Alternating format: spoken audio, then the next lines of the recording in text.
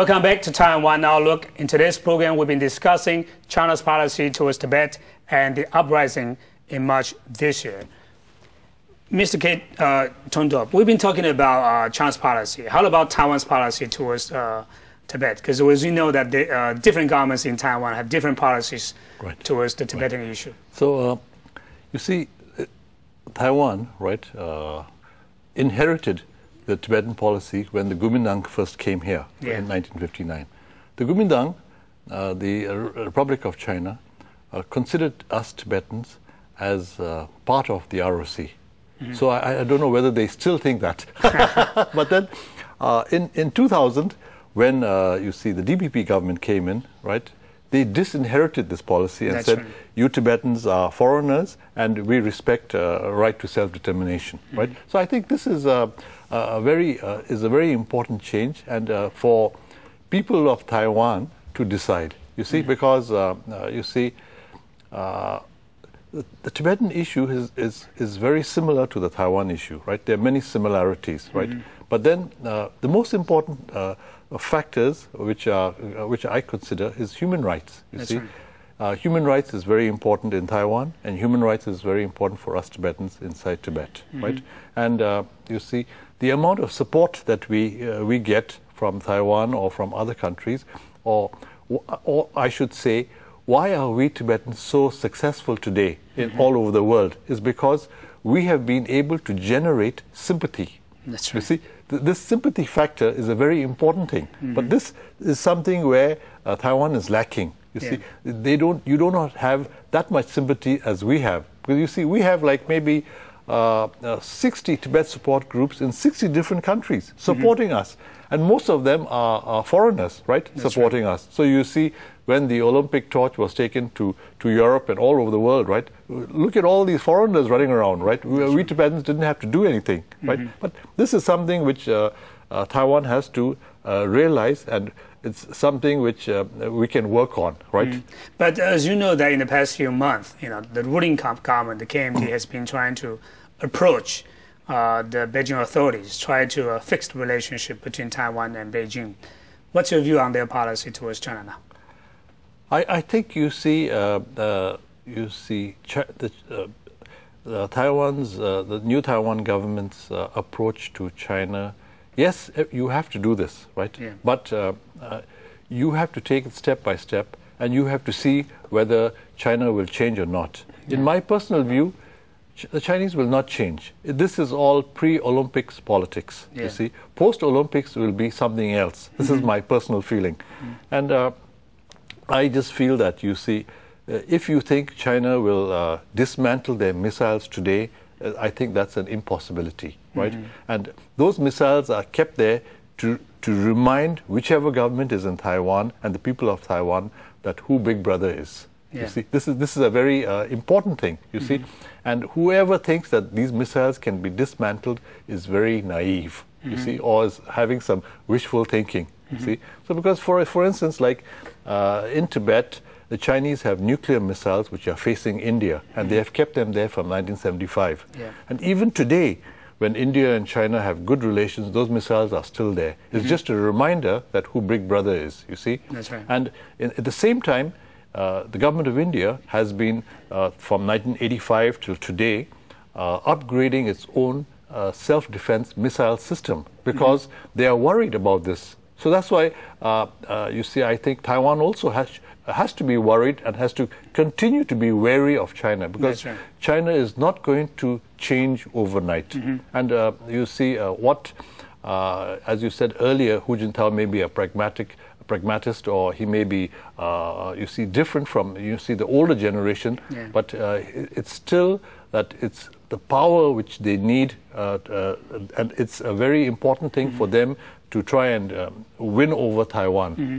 But in addition to its uh, rigid principles in, in imposing uh, their policy towards Taiwan, towards Tibet, what do you think about your experience of engaging talks with Beijing? Is there anything that we can learn from your experiences? I, I think you see, we, we've learned from each other, we've exchanged op- uh, opinions because you see, how uh, Beijing deals with uh, Taiwan is a reflection of, uh, you see, what's going to happen with us. Yeah. You see, so um, we hope, I hope that uh, you see uh, there would be some sort of uh, uh, what do you call breakthrough this time when our envoys go to Beijing. But I think it's, as I said earlier, it's like pre-Olympics, what do you call rattling, right? Mm-hmm. And um, I think that what do you call this in in the over 25 years of dialogue which mm-hmm. we've had with Beijing, we've always agreed to disagree on, on, on everything. We have mm-hmm. not agreed on anything, you see. So, with this kind of a dialogue, and uh, uh, I, I, don't think uh, you see a breakthrough is possible. So you just keep the talks going. Yes, it's only a form of communication where you can get your opinion across and you can hear what they are saying. But there is no meeting point. That's right. But in the case of Taiwan, uh, there are hopefuls, uh, hopes that uh, there could be breakthrough uh, in the uh, relationship between Taiwan and, and Beijing. Do you think that's too optimistic? I think that's really optimistic because you have to judge from their track record mm-hmm. of, say, the last 10 years or 20 years or 30 years, right? So, judging from, from the track record, you see, I, I don't think it's possible, you mm-hmm. see. And I think, uh, but, but uh, you see, uh, there's one thing which is uh, of great concern is you see uh, Beijing is playing this uh, uh, power game where they they they, cha- they, think that their power base should be in Asia as compared to the United States uh, power base. They're mm-hmm. trying to give Taiwan a sweetener to be able to move towards Beijing. Yeah. You see, so this is what I think is happening. You see, and mm-hmm. I think um, this on the long term would be harmful for Taiwan's uh, uh, what do you call this um, uh, for the Taiwanese people because this is not in the, uh, what do you call, interests of the Taiwanese people. That's right. But uh, with the rise of China, uh, people have different views about how China will react to the issue of Taiwan and to the issue of Tibet.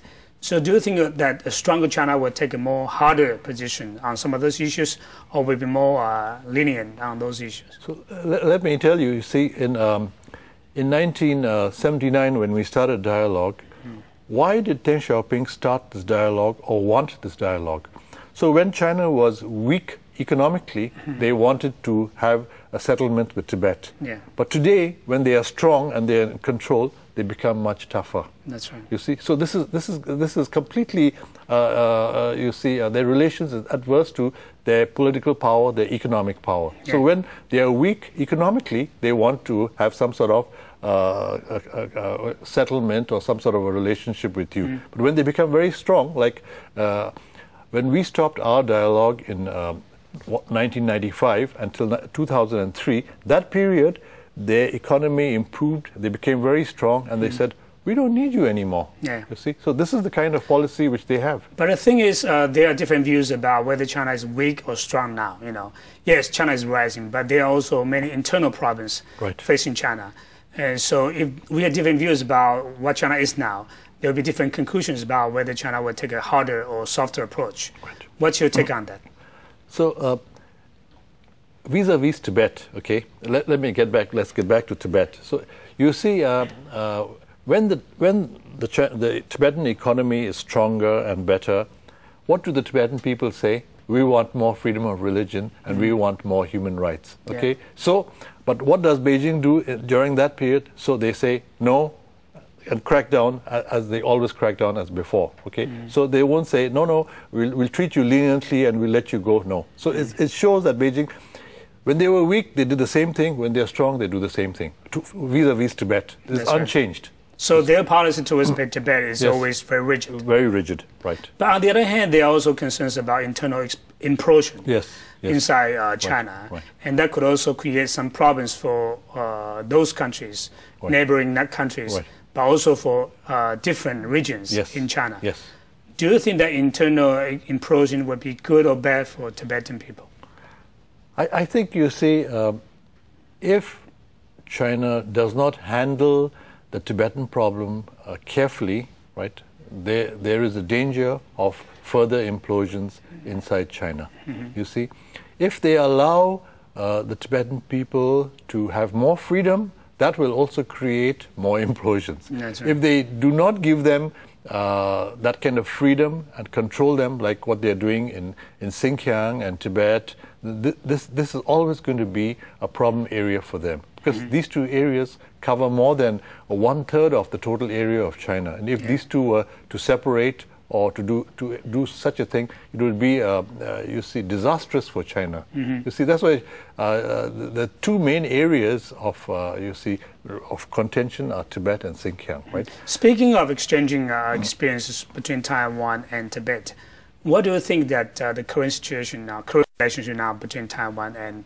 your government in exile? I think you see, from 2000, you see the DPP went out of their way to uh, get in close touch with His Holiness. They invited him to, to Taiwan twice. Yeah. And I, I, let me tell you, when His Holiness first came here in 1997, he asked me, I'm very worried because I'm going to Taiwan, because this is the first time I'm going to meet so many Chinese. Mm-hmm.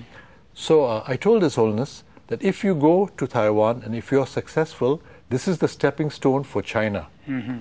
And when His Holiness came back from Taiwan the first time, and he told me, I can't believe how friendly the people of Taiwan are, and I want to go back.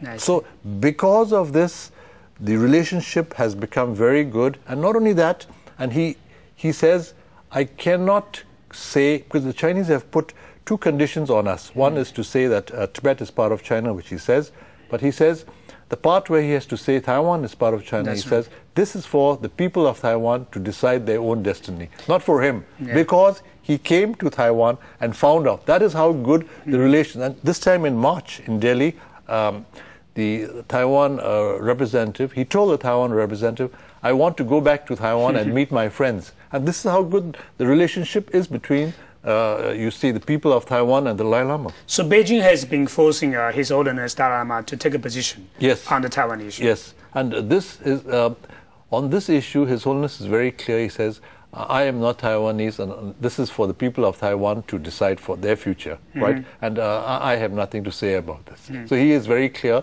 and we have uh, completely, uh, what do you call, sidelined this uh, mm-hmm. the, this condition. Yeah, and when we come back, we'll talk about the uh, what have been you know uh, developed over the past few years right. in the relationship between Taiwan and uh, you are government in exile. Sure. And also we'll talk about the future prospects sure. of this bilateral relationship. Very good. Very good. So stay with us. We'll be back after this few moments.